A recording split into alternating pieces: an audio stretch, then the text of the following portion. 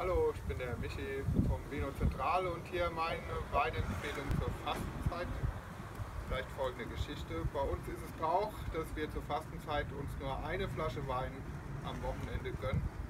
Wochenende ist von Freitag bis Samstag, nee, bis Sonntag. Natürlich schwierig, welchen Wein nehme ich mir mit. Ähm, vielleicht Chateauneuf du Pack, irgendwas Besonderes oder vielleicht einfach was Großes. Also ich habe gedacht, es gibt ein Magnum, und zwar ein Beaujolais aus äh, der Rebsorte Gamay. Alles weitere findet ihr im Netz. Ähm, sollte man leicht gekühlt trinken.